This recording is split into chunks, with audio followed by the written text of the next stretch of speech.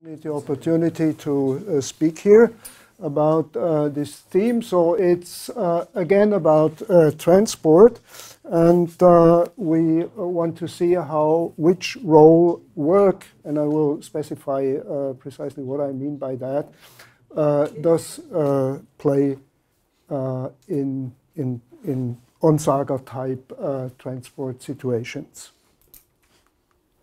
Okay, these, these are uh, the, my collaborators, Juyeon Yi, Jin John, and Youngwoon Kim from Korea, and uh, from at that time in, in Augsburg, Michele Campisi and Peter Hänggi. I will mainly uh, report on uh, a paper which uh, we uh, wrote with these three people.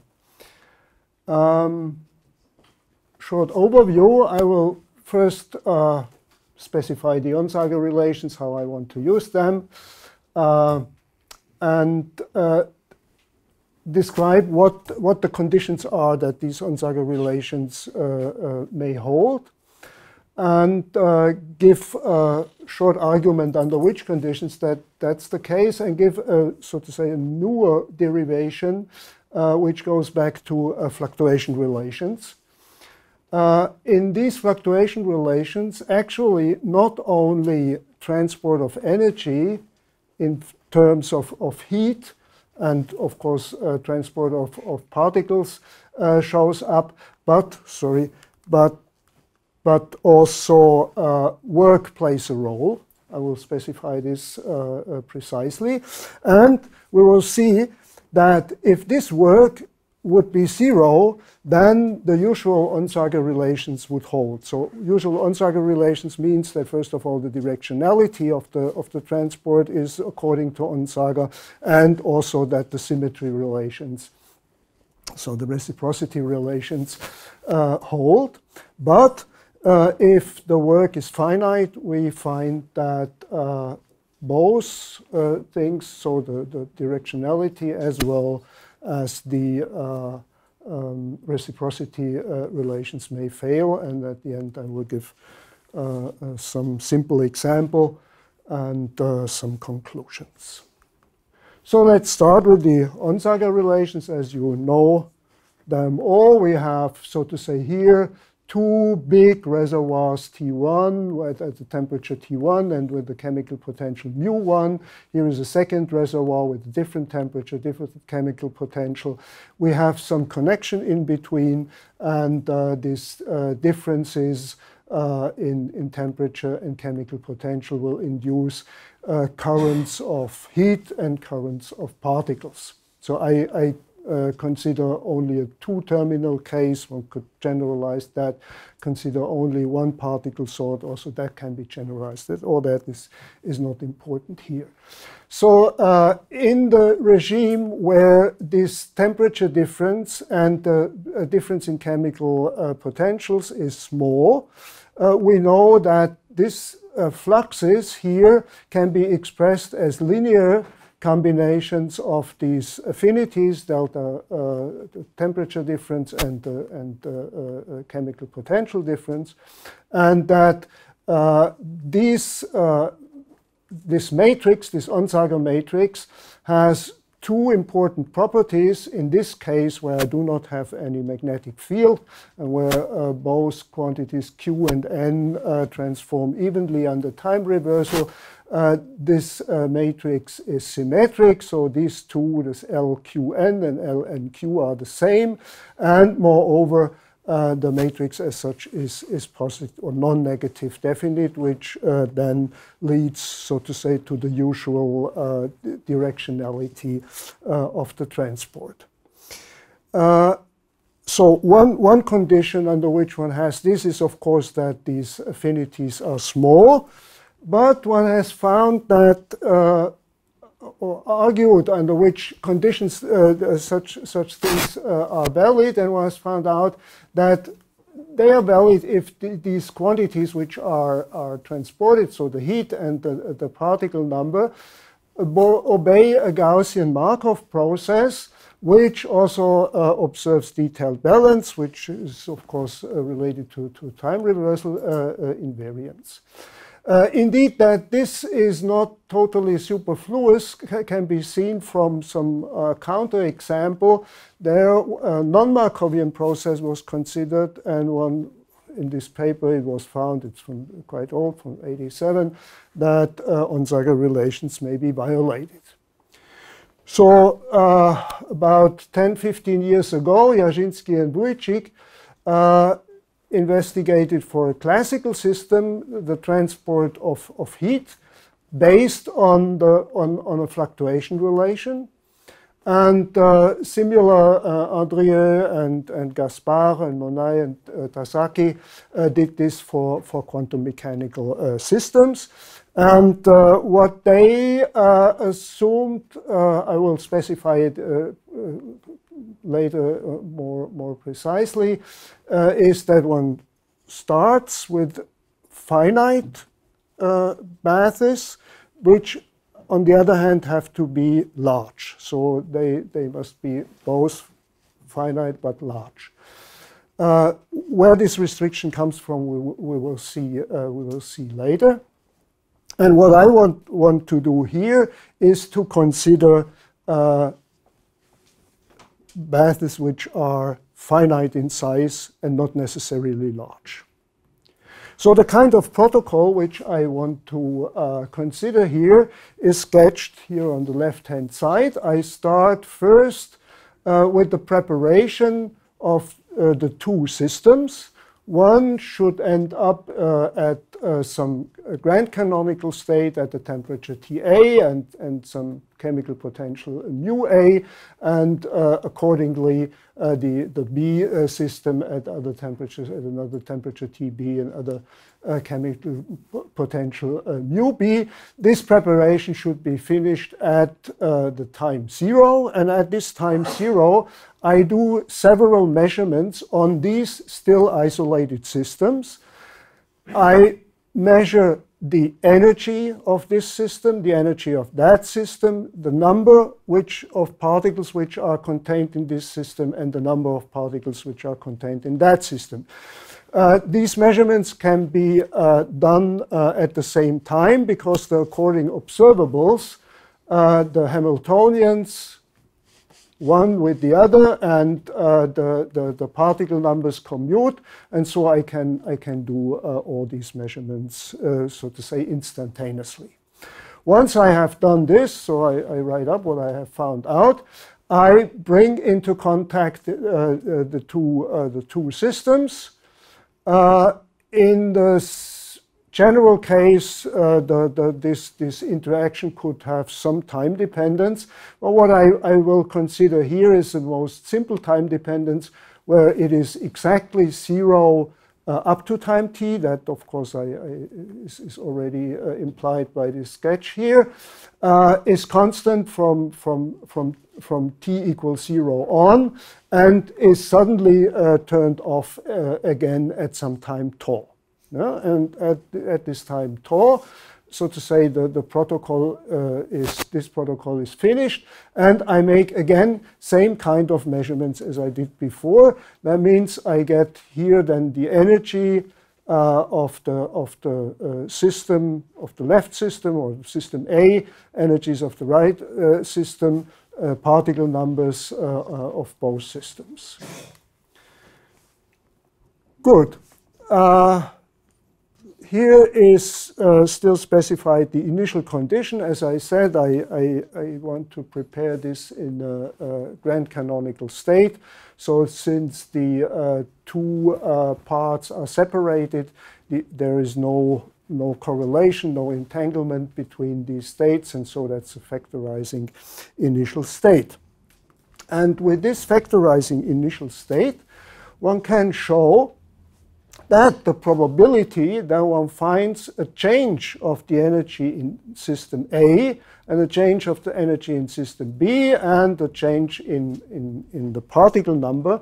I forgot to mention, I assume that both uh, the Hamiltonians, the, so to say, the, the, the, Hamiltonians of the systems A and B, as well as the, uh, uh, the interaction uh, both commute with the total number Na plus Nb.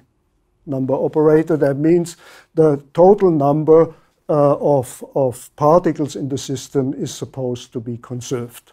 Yeah? So I, I, don't talk about uh, phonons, but particles like, like electrons or such, so some other particles would do so in general.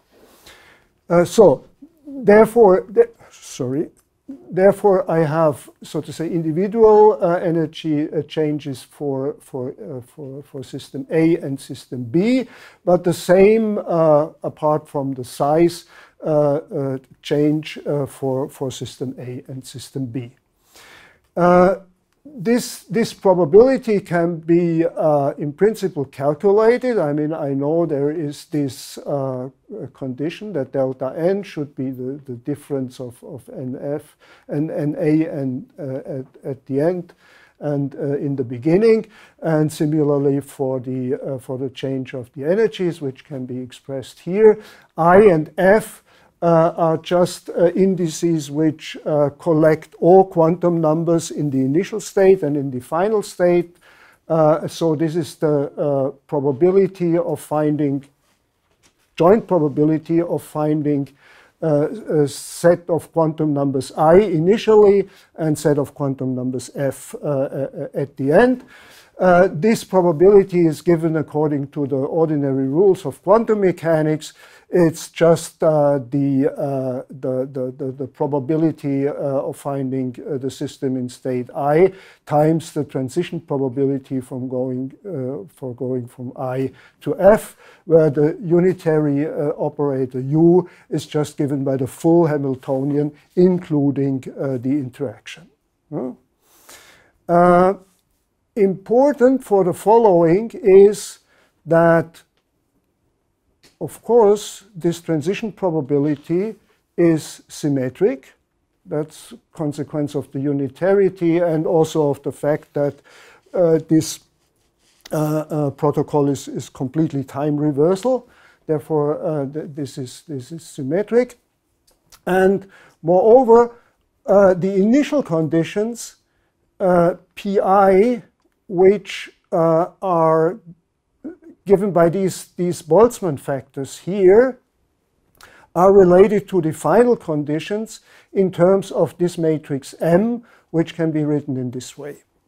And these two blue equations have as a consequence a fluctuation theorem, which is given here, which tells me that the probability of finding uh, delta E A, delta EB, and delta N relative to the respective negative values of these quantities here is given by this exponential factor here, which contains uh, beta. Uh, beta alpha is the inverse temperature of, of, system alpha, and so on.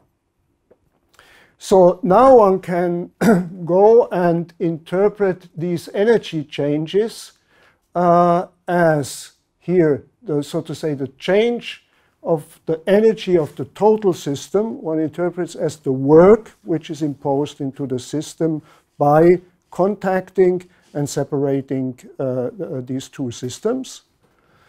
Uh, whereas uh, the, the difference of the energies basically uh, gives Q if one wants to, one can also take into account the delta n here. That can also be done in, in different ways. We, we have chosen, uh, chosen this way. This is a, a kind of, of, definition of Q.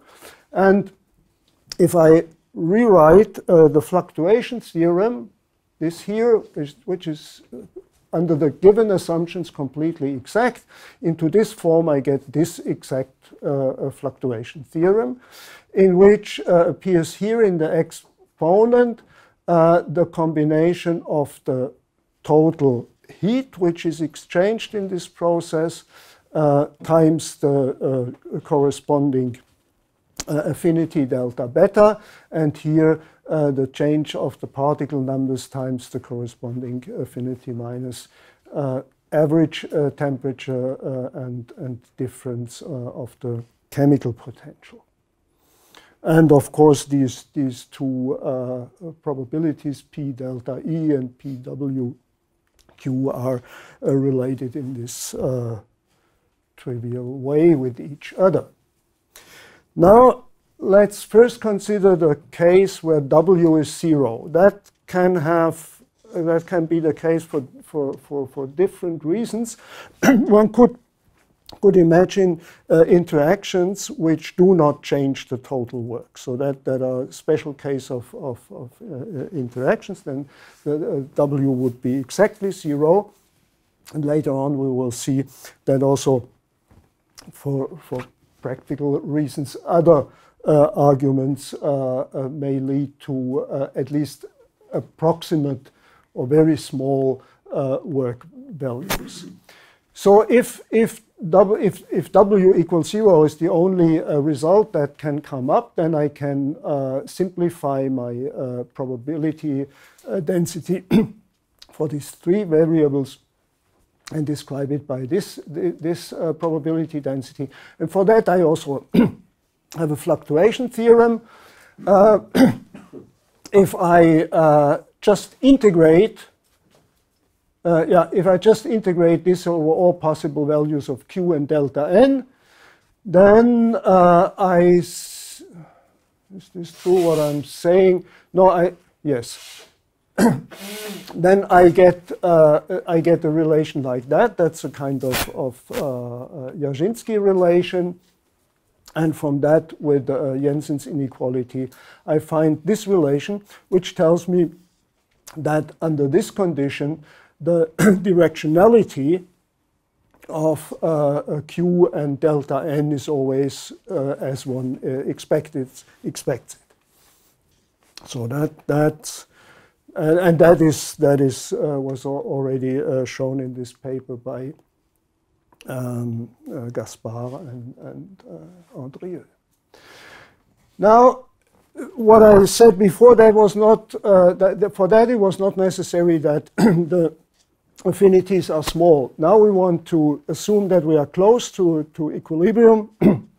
that means that the affinities uh, are small, and that means that we can expand this exponential here and leave and, and just uh, uh, omit uh, higher order terms.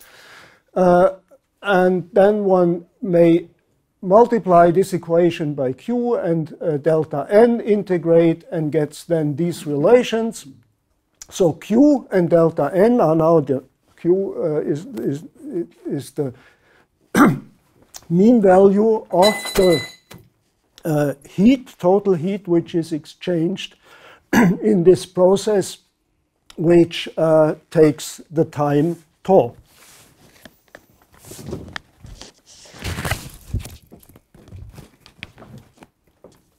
So one, one can assume that, and in the example which I will show later, it will also turn out that this is the case, that after a relatively short time, uh, the amount of, of Q is proportional to tau.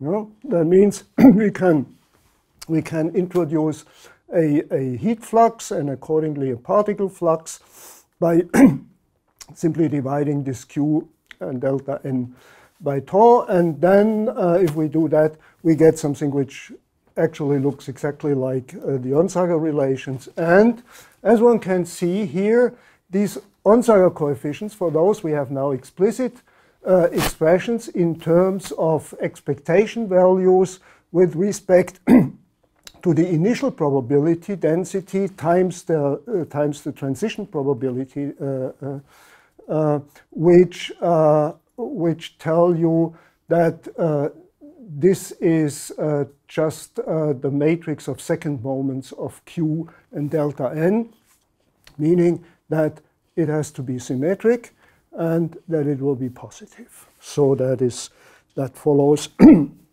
follows uh, immediately in this case. Now, if the work W is not zero, uh, one gets two modifications. And one can do a, similar analysis as before. One expands with respect to delta beta and, and delta mu. But additionally to these linear terms, one finds terms which are independent of delta beta and delta mu.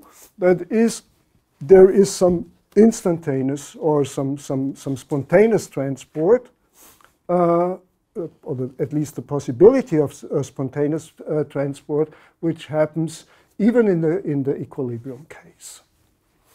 Now, these symbols here, they are a little bit uh, complicated. Uh, this is basically uh, an expression for the for the energies. The J is is either I or or F for the energies for the initial energies or, or final energies, and the, the, differences uh, between A and, and B. And these deltas here means that the mean values are subtracted. So these are the fluctuations of the uh, of the exchanged uh, energies, and similarly uh, for the for the delta n's. And so one deviation from standard Onsager is the appearance of this uh, spontaneous transport. The other deviation is that uh, this matrix here, which, which then connects the linear part with the fluxes, is not manifestly symmetric. Know? It is just given by this correlation function, which is no longer an autocorrelation function of, say, uh, this x, uh, x beta and x mu. Mm -hmm. um, yeah. Good. Uh, of course, I mean, the, the cause for these, for these terms here is the contacting and the separating of the two systems, which uh, imposes work on the, on the system and which uh, therefore also breaks uh, the time uh, uh, translational symmetry because if, if this average would be time translational symmetric, then of course uh, it would, would be, this contribution would vanish. Uh, there is a way to introduce still a symmetric transport matrix uh, if one does not consider the average value of Q itself, but if one modifies this by this uh, factor e to minus uh, average uh, inverse temperature times the work minus 1. You see if the work is 0, Ah, uh, there, there is something screwed up. That must be a plus. I'm sorry. Because if the work is zero, that must not be zero, but uh, it, it should become two, right? That's this two, two here then. So that must be a plus sign, sorry. Uh, so in, in this limit, uh, one, one gets back uh, the previous result, but otherwise we, we get this. And, but, and this, this matrix here is now uh, uh, autocorrelation matrix of the previously introduced uh, uh, fluctuating heat and and and particle number uh, quantities, which therefore is uh, uh, positive and symmetric.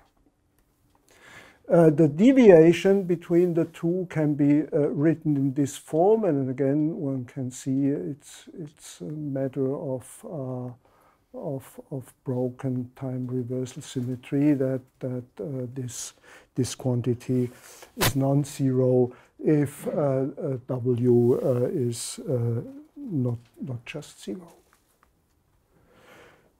So let me come to a simple example that's kind of tight binding uh, model. So that is uh, for, for system A, a linear lattice of uh, MA power, uh, MA minus 1 particles, and MB uh, minus 1 particles, uh, which are separated up to time t, t equals 0 again brought into uh, uh, thermal equilibrium at different temperatures and uh, chemical potentials, then uh, during this interaction time tau brought into contact and then separated again.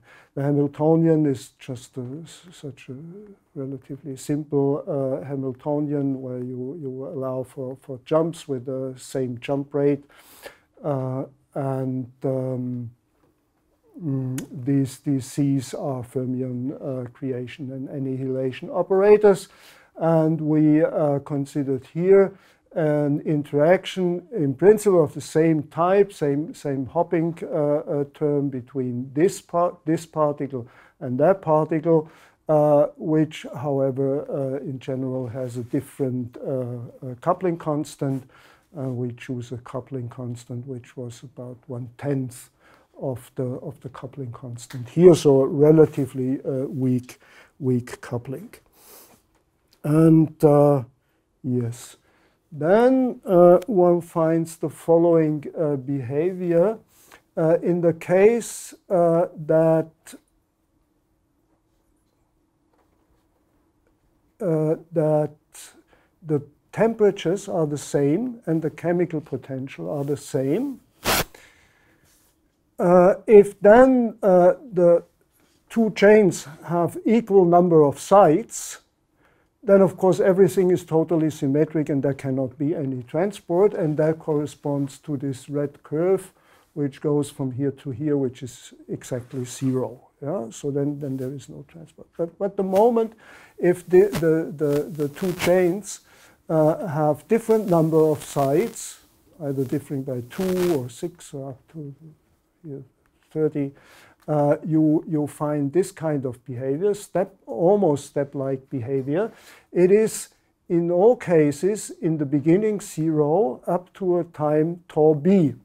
And this time tau b uh, is basically uh, the, the round trip time for a signal uh, in, in the smaller chain. Uh, the B chain here is always the smaller chain. So that, that determines when, so to say, for the first time, the smaller system realizes that it is finite. Yeah? As long as it thinks it is infinite, uh, there is there is no no transport. But then uh, it it makes uh, here a, a jump-like behavior, and uh, uh, then uh, it gives, so to say, as a relay as a as a late uh, uh, response to the coupling, uh, this, this contribution to, to, to transported heat. And similarly, also um, the particle number behaves like that. So it's also first the particle no particle is, is transported in this in this first time, and then in later times it makes this, this jump-like behavior. Okay, for the uh, case here, as I said, the, the, the coupling uh, between the two uh, parts A and B is a tenth of the jumping rate uh, within a chain, so relatively small.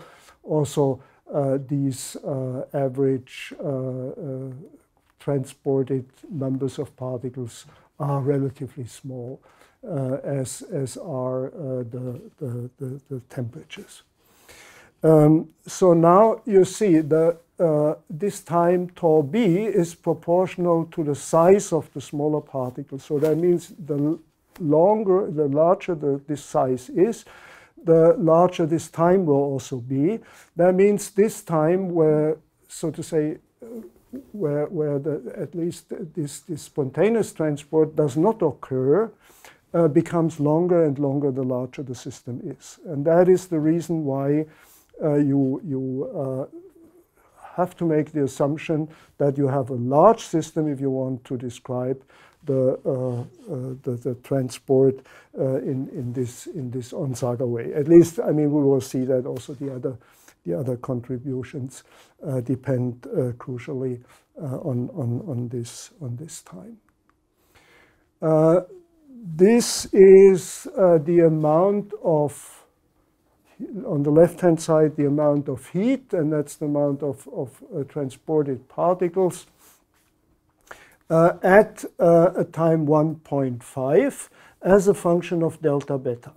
And you see uh, at small, at large values of delta beta, so to say the directionality of the, the usual uh, normal directionality sets in, but uh, for small uh, uh temperature differences, this uh, instantaneous contribution still dominates and gives you a transport, so to say, in the wrong, wrong direction or unexpected direction, one should be, maybe say better.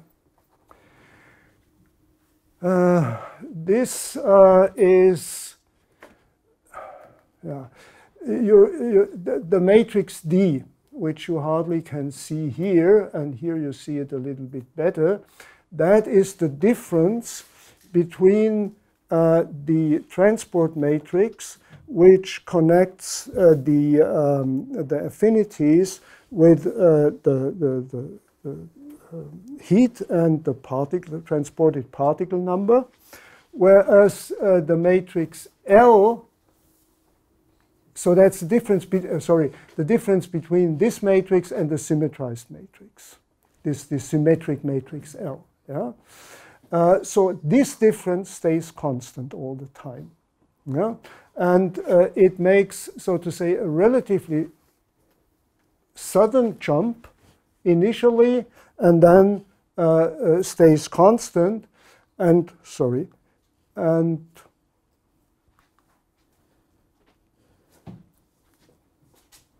and so basically if you are able to neglect this contribution then this would give you uh, the behavior uh, which which uh, which describes a symmetric uh, trans symmetric transport matrix so actually it's again a matter of how large this time is, how important uh, uh, this, these deviations are. I think uh, I have to, to stop here. Maybe I, oh, yeah, here are the conclusions, and so I, I want to stop. Thank you.